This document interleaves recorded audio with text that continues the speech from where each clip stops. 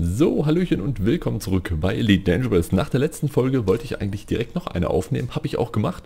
Ging nur noch sieben Minuten gut und dann hat es mich rausgeschmissen aus dem Spiel. Erst mit einem leichten Verbindungsfehler, dann kam ich aber nochmal rein. Und dann ging es aber direkt wieder raus aus dem Spiel. Naja, jedenfalls neuer Tag, neues Glück. Und ich hatte mich auch gestern dann endlich mal mit Vodafone, beziehungsweise ich habe meinen Vertrag bei Kabel Deutschland eigentlich, wie gesagt, all die Jahre nie die Probleme gehabt. Und seit nachdem das von Vodafone übernommen wurde, musste ich mich jetzt halt mit Vodafone in Kontakt setzen oder in Verbindung setzen, um die Geschichte mit der IP mal zu klären. So, jedenfalls hatte ich dann gestern einen recht kompetenten Mitarbeiter am Telefon, der meinte, ich regel das, ich gucke mir das an, hat sich von mir alles angehört, hat mir auch nicht irgendeinen Scheiß erzählt, wie die das gern mal so machen. Und da ich ja ein bisschen klug, ein bisschen konnte ich klug scheißen durch Sachen oder mit Sachen, die ich von euch erfahren habe. Vielen Dank dafür. Und er meinte, er kümmert sich drum, hat sich dann nochmal mit einem Mitarbeiter beraten und meinte, er würde das beheben. Also bin ich mal gespannt, ob da jetzt in den nächsten Tagen nochmal was kommt. Die meinten, die melden sich nochmal bei mir. Schauen wir mal. So, als erstes, also okay, das ist bloß ein Schiff der Systembehörden, alles gut. Dann können wir wieder umstellen auf Waffen, Frachtluke auf, Erdsucher raus und dann holen wir das letzte Painit rein. Denn gestern, als ich den Verbindungsfehler hatte, hatte ich gerade in dem Moment ein paar Enitbrocken gefunden. Nicht mit vielen Prozent, bloß mit 7 oder 8 Prozent. Aber ich weiß nicht, könnte ich noch was einsammeln? Wir waren bei 8 Painit. Ne, 8 Painit ist es auch geblieben, aber auf 93%, also es fehlt nicht viel. So, gut, also holen wir uns das restliche Painit noch und wir machen den Frachtraum so noch ein bisschen voll. Es ist nur noch heute die Folge mit Bergbau, keine Sorge, also bloß noch die 10 Painit auf jeden Fall werden wir die, denke ich mal, kriegen. Wir machen so lange, bis wir die haben. Wenn wir die vor den 20 Minuten schon voll haben, dann sammeln wir einfach so noch ein bisschen Kram, wie zum Beispiel Palladium. das ist ja super. Und ja, verkaufen das dann an der Station, wo wir ein bisschen Geld kriegen. Ich würde dann, ich muss mal gucken, wie weit das dann weg ist, von hier bis zur Founders World. Es könnte gehen, dass es nicht so weit weg ist. Aber ich vermute mal, dass ich vielleicht in die Anaconda umsteige oder Mal schauen.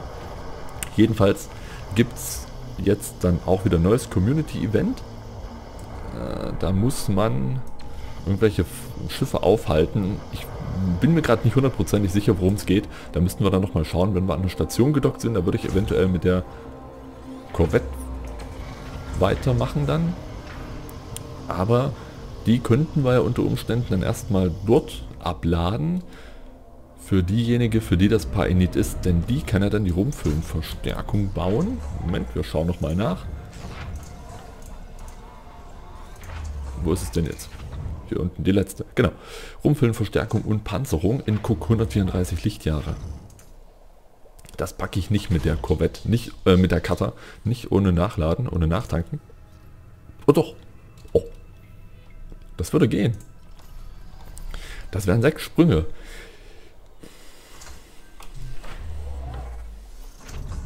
Eventuell ein bisschen weniger, wenn ich hier in der Nähe, würden, wir würden eh noch mal zwischen landen auf jeden Fall.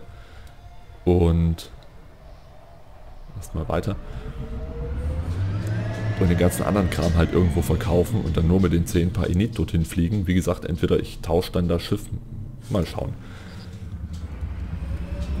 Wir können uns ja auf halbem Weg irgendwo eine Station raussuchen, die eine Hightech-Station, wo wir dann auch gute Preise bekommen für die ganzen Rohstoffe, die wir gerade hier abbauen. Also zweimal Painit, eigentlich einmal fehlt noch und nur noch 7%. 93% sind noch in der Raffinerie. Also überhaupt nicht mehr viel. Fehlt nicht mehr viel. Ja, dann würde ich noch mal was zu diesem Pax-Trailer, zu diesem Unknown-Trailer erzählen. Ich hätte gar nicht damit gerechnet, dass die noch mal so einen Trailer jetzt raushauen, gerade jetzt wo 2.3 fast in den Startlöchern steht gestern in der Folge übrigens, dass die Serverwartung war die ganz normale Serverwartung, die jeden Donnerstag stattfindet. Da habe ich einfach nicht dran gedacht. Danke für den Hinweis. Und ja, jedenfalls zu dem Pax-Trailer. Der macht mal echt Bock auf mehr. Ach du Scheiße. Runter mit dir. Okay. Und ja, ich hatte dann auch noch irgendwo anders gelesen, dass es wohl dann auch Alien-Ruinen, beziehungsweise keine Alien-Ruinen, so Alien... Alien-Höhlen sowas in der Art zu erkunden geben soll. Bin ich mal gespannt. Also der Trailer war nicht schlecht, hätte auch von mir sein können. kleines Späßchen.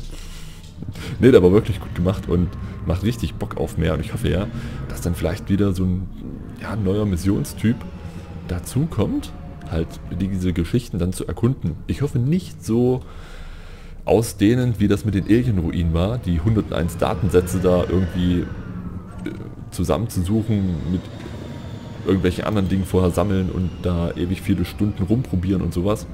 Das hoffe ich nicht, sondern ein bisschen einfacher vielleicht, was dann halt auch deutlich weniger Geld bringt, aber wieder mal was Neues. Und ja, ich denke, das soll uns darauf vorbereiten auf die Aliens, die Targoiden, die Wächter, die Guardians, äh, dasselbe. Müssen wir mal schauen, um was es sich dann da genau handelt und was da noch passiert. Aber der war wirklich gut. Hat mir sehr gut gefallen. Na gut, jetzt hoffen wir mal, dass wir hier in der nächsten Viertelstunde noch ein bisschen Pionit finden. Wenn nicht, dann... Wir machen auf jeden Fall dann weiter, bis wir das zusammen haben. Es kann doch nicht so schwer sein. Gestern die Folge natürlich ganz zum Schluss dann. Diese 43, 44 Prozent Pionit war ja wirklich super.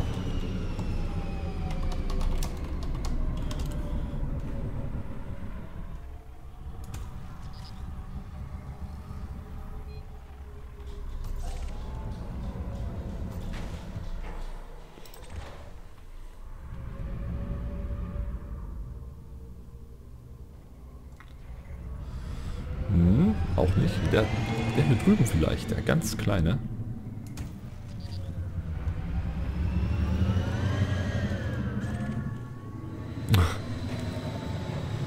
Ich meinte guten Morgen. Ist ja noch früh am Tag.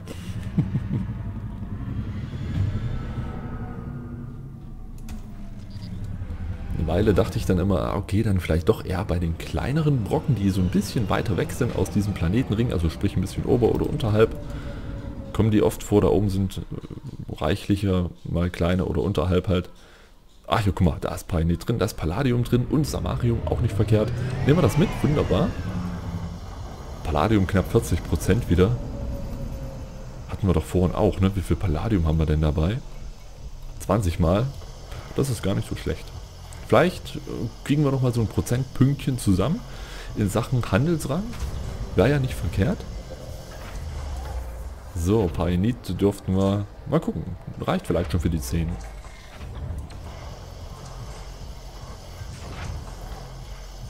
Ich weiß jetzt nicht, ob ich es in der Folge gestern angesprochen hatte. Oder in den 7 Minuten, 8, 9 Minuten mit Verbindung, mit Neuverbindung die ich gestern eigentlich aufnehmen wollte, die ich dann gelöscht habe, weil es war keine ganze Folge und das Zusammenschnibbeln wollte ich dann auch nicht, das war mir dann auch zu blöd, deswegen mache ich es jetzt einfach nochmal. Hm, weiß nicht, ob ich das halt in der oder in der gestrigen normalen Folge angesprochen hatte, dass wenn 2.3 live geht, dass wir das dann gerne mal probieren können mit dem Multicrew. Jetzt auf dem Beta-Server muss ich es erstmal nicht haben, sondern Resodym 48%.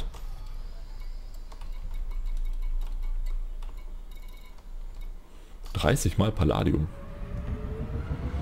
Das ist gut. Das ist sehr gut. Das halt immer so eine Geschichte. Palladium hat man meistens sehr, sehr viel dabei.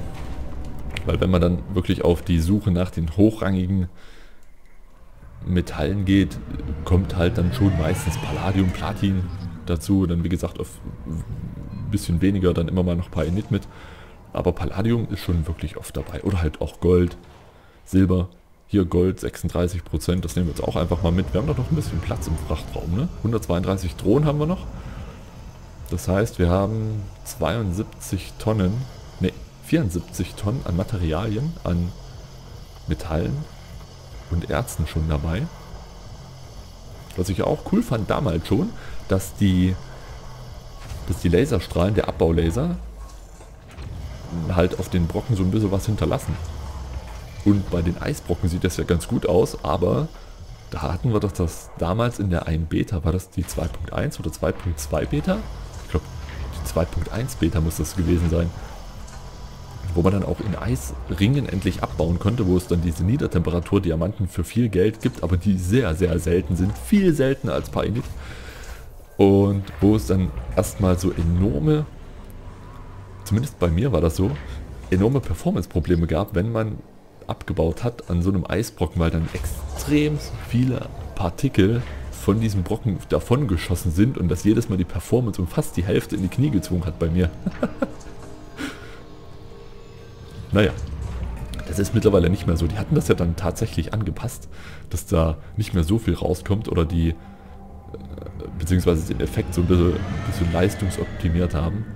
Das war auch dringend nötig. Das war echt übel in der Beta. Das, das ging fast gar nicht. So, die Drohnen sind noch aktiv, ne? Ja, ganz geil, wenn es so einen Timer gäbe, der anzeigt, wie lange die Drohnen noch halten. Also 12 Minuten halten die, 720 Sekunden. Also schon recht lange. Ich meine, ich habe gut hier rechts meinen Timer, da kann ich das jetzt ablesen, aber wenn ich den jetzt nicht hätte, fände ich es nicht schlecht, wenn man zumindest hier bei der Feuergruppe links noch so einen runterzählenden Timer hätte, wie lange die noch ungefähr halten. So, haben wir denn eigentlich vorhin das zehnte Painit? Ja, das haben wir zusammenbekommen. Zehnmal Painit ist zusammen. Ich würde sagen, wir machen trotzdem noch ein bisschen. Und dann in der nächsten Folge geben wir das alles ab. Gold. Hier oben war nochmal kleinere Brocken. Nehmen wir die nochmal mit. Das ist auch immer so die Qual der Wahl. Man, ja, wo fängt man an, wo hört man auf, die Brocken anzupieksen. Oh, Gold. Ich habe ja, ich habe ja schon wirklich viel Bergbau gemacht, würde ich jetzt mal meinen. Also ich, ich kenne da andere Verhältnisse nicht von anderen Commandern. Aber ich würde trotzdem denken, dass ich schon oft Bergbau gemacht habe mit 10.700 raffinierten Mineralien und die 6.000 knapp 6400 gesammelte Materialien. Das sind die Dinger hier hinten. Äh, hier, was gibt es denn hier oft? Kohlenstoff haben wir ein bisschen. Hier, Nickel, Phosphor. Solche Geschichten bekommt man hier immer mal raus. Und ja, 10.768. Nicht zugewiesen. Warte mal, da haut was nicht hin in der Raffinerie. Hm, Bertrandit schmeiße ich mal raus. Galli taue ich mal raus. Kein Mensch. Indeed auch raus. So, jedenfalls, das ist schon eine ganze Menge, würde ich mal denken. Könnt da gern mal, wer da mehr hat oder, oder ähnlich viel, gern was dazu schreiben. Da weiß ich überhaupt nicht, wie ich da so im Schnitt liege. So, und gleich werden wahrscheinlich unsere Sammler den Geist aufgeben. Ich piekse schon mal den nächsten an. Den großen da drüben.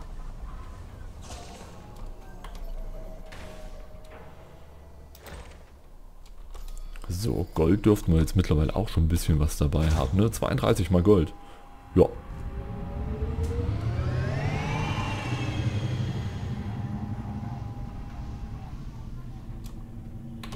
Glaube, wir bekommen auch eine Nachricht rechts oben, wenn die kaputt gehen.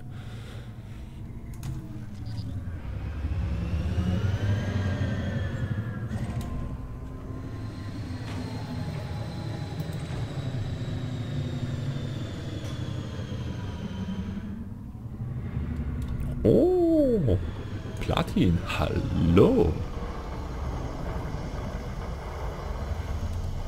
Haben wir schon Platin dabei? Fünfmal.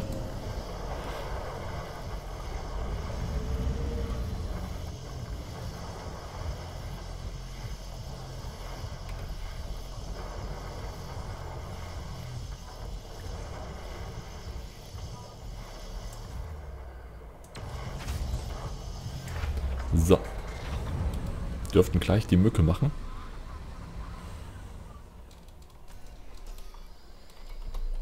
Platin nicht zugewiesen. Was ist denn hier drin? Ist hier Gallit drin? Ich weiß es nicht. Eigentlich schmeiße ich den Mist regelmäßig mal raus. Bertrandit auch raus. Ah, okay, gut. Platin, neunmal. So, wählen wir den nächsten aus. Hier drüben gleich.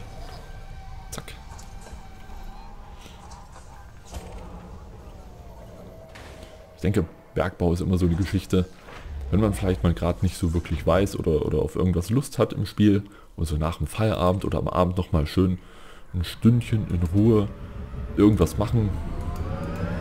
Warum nicht Bergbau? Natürlich nur, wenn man in der Nähe ein gutes System hat, wie zum Beispiel in Toluku, wo ich ja eigentlich immer Bergbau die letzten Male gemacht habe und man nicht ewig weit suchen und fliegen muss, kann man das ruhig mal machen. Es, macht schon Spaß, mir gefällt es eigentlich. Gerade jetzt, seitdem es die Drohnen gibt. Früher war das ja der absolute Hass, jeden Brocken noch einzusammeln. Ich meine, gut, da war man das gewohnt. Ich hatte mir dann aber trotzdem immer schon mal sowas gewünscht, wie es das jetzt halt gibt. Dass es jetzt noch so eine, so eine Erzsucher-Drohne gibt. Auftrag Kriegseinsatz.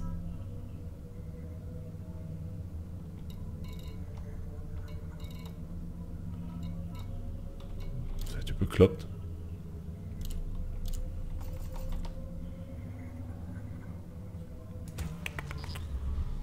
Wir sind hier heute mit meiner pazifistischen Cutter unterwegs. Da kann ich nicht, kann ich, kann ich lange drauf ballern mit meinen drei Abbaulasern. Es gibt ja auch diese Lanzen-Abbaulaser, die ein bisschen Schaden machen. Oh, hier nochmal Palladium 40%. Das sind immer so ein, so ein kleines bisschen wie Lotto ist es ja immer mit dem Bergbau.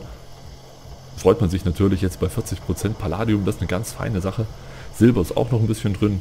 Bertrandit, dieser Mist wieder. Bertrandit bringt aber glaube ich auch ein bisschen was. Zweieinhalbtausend sogar. Gallit ist viel schlimmer.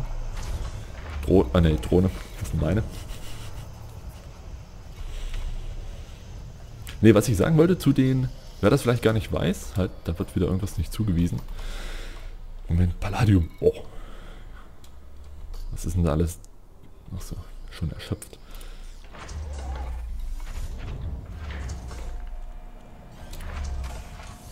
So. Wer das vielleicht gar nicht weiß, mit den Erzsuchern, die sind schon recht wichtig. Denn durch die Erzsuche sieht man nicht bloß, was im Brocken drin ist, sondern man kann auch deutlich mehr abbauen. Als es ohne Erzsuche ist. Also wenn ich so auf einen Brocken schieße, auf einen Asteroiden schieße, kommt deutlich weniger raus, als wenn ich den vorher mit einem Erzsucher angepiekst habe. Das war dann noch ein zusätzlicher Bonus, den die dann mit dem Patch, weiß ich nicht welcher das war, wo die, den, wo die, die Sammeldrohnen und die Erdsuche hinzugefügt hatten. Das war dann nochmal so ein zusätzliches Ding, was ich richtig gut fand. Da war ich ja eh sehr, sehr begeistert von dem Patch, gerade wegen der Geschichte. Das ist eine feine Sache. So.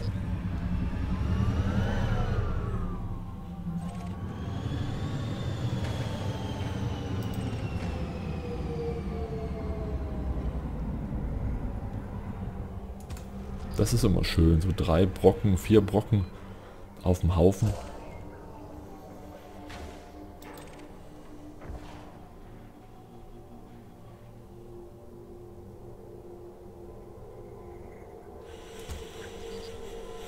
Nochmal 13% Palladium. Wir schauen mal noch hier rein, links hier nochmal rein.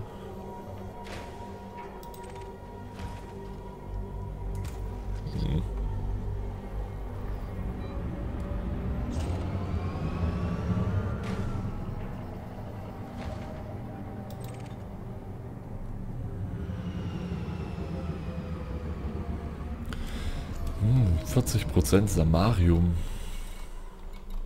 Bringt halt auch 6000. Komm, das nehmen wir jetzt einfach nochmal mit, damit wir den Frachtraum ein bisschen füllen und die Erzsammler was zu tun haben.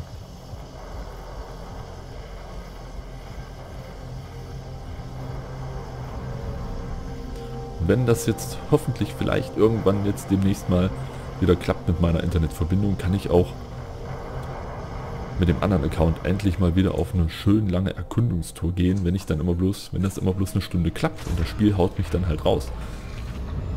Das hat es mir immer so ein bisschen versaut die letzten Wochen. Deswegen konnte ich immer nicht, ich bin bloß so um die vielleicht höchstens mal 1000 Lichtjahre gekommen, mehr nicht. Und dann war es schon wieder vorbei. Naja, ich bin guter Dinge, dass sie das vielleicht jetzt ändern bei mir und das dann wieder funktioniert. So, kommt da noch einer hin. Machen wir ein bisschen länger heute. 231. 123 Tonnen haben wir jetzt dabei. An Sachen, die wir verkaufen können. Ein bisschen mehr sogar. Ja.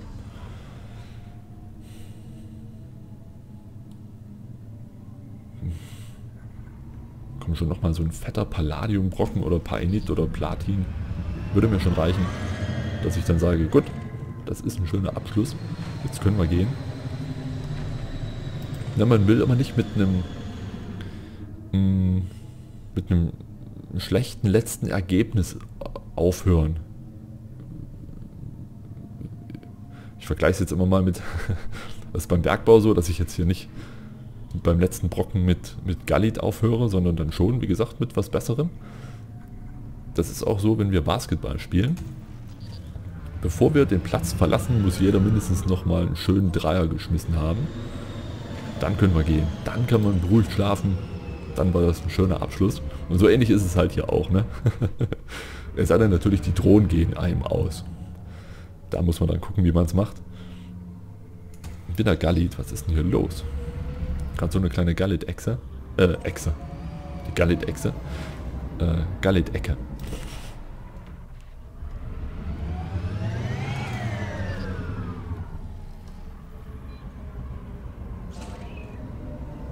Aber wir haben hier sehr viel Ruhe vor Piraten. Eigentlich komplette Ruhe vor Piraten, denn hier ist noch ein... Oh! Ja! Da ist unser perfekter Abschluss, würde ich sagen. Das ist ja super, 40% Painit, wunderbar. Da machen wir vielleicht jetzt auch nochmal so 8 bis 10 Painit dürfte da nochmal bei rauskommen. Das ist eine feine Sache. Die Sammeldrohnen sind halten wahrscheinlich auch noch 3-4 Minuten. Also das passt. Wunderbar. Da bauen wir das jetzt ab. Ich suche nach einer Hightech-Station, beziehungsweise nach einem Hightech-System in Richtung des nächsten Ingenieurs, wo wir die 10 paar Enit dann auch abgeben wollen. Oh, hier ist echt viel drin. Hier ist wirklich viel drin. Also wir könnten locker nochmal 10, vielleicht sogar 12 paar Enit jetzt rauskriegen. Man sieht das immer daran, um wie viel Prozent die verbleibenden Mineralien runtergehen. Das sind so zwischen 1,8 und mal 3, irgendwas Prozent. Und hier ist es relativ wenig. Das heißt, es kommen viele Brocken bei raus. Mal gucken, 17 haben wir schon. Wie viele noch bei rauskommen. Und in der Zeit, in der die hier noch einsammeln, gucken wir mal. Wirtschaft. So, irgendwo hier auf halbem Wege. Da oben wäre eine Hightech-Station gewesen. Da auch. Hier 29,3 Millionen. Wo war das jetzt? Hier. Pack up.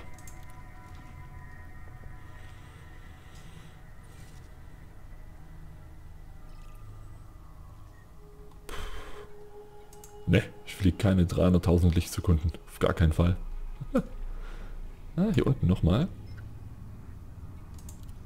Santu.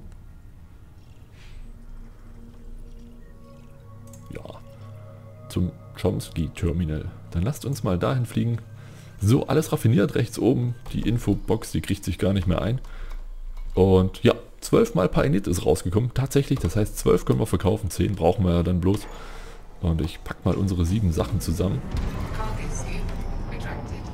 Und jetzt müssen wir bloß noch die paar Sprünge überstehen. Das dann aber in der nächsten Folge. Das hat super geklappt, schöner Abschluss. Perfekt. Und ja, bedanke ich mich bei euch, wünsche euch noch einen schönen Freitag, Nachmittag, Freitagabend und ein schönes Wochenende. Danke mich für eure Aufmerksamkeit und haut rein bis zur nächsten Folge. Ciao.